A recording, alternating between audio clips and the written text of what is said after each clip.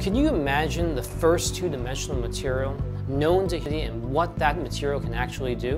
With the thermal capabilities of graphene, the electrical capabilities of graphene, and the material strengths, lighter and stronger. You're changing the entire methodology and implementation of graphene in various kinds of materials, disciplines, industries. And this is why it is such an exciting time. You look at Singapore, which is a very unique country where they have all these variations of novel, exotic buildings. With graphene, you'd be able to really impact the infrastructure. The buildings would be taller. You could triple the size. We can actually use an antibody and be able to send that into the human body and target cancer.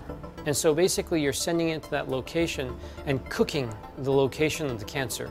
You now have a new vehicle for therapy in medicine and treatment for extension of human health.